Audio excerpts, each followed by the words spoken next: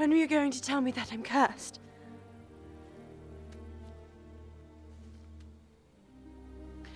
Is it true? It is. My aunt said it was an evil fairy. I, I can't remember her name.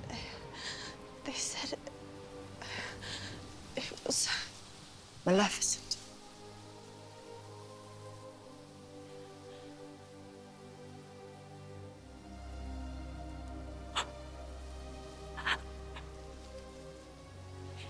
Is that you?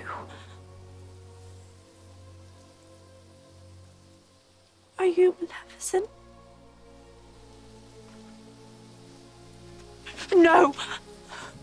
Don't touch me. You're the evil that's in the world. It's you.